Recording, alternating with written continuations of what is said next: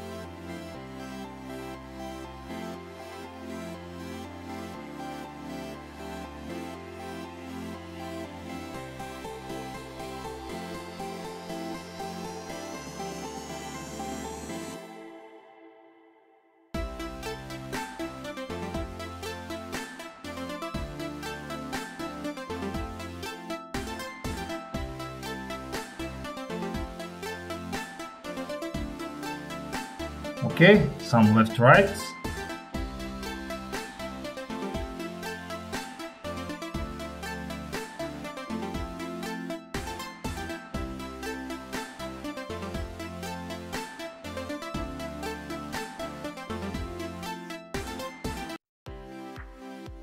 And now let's open the recent.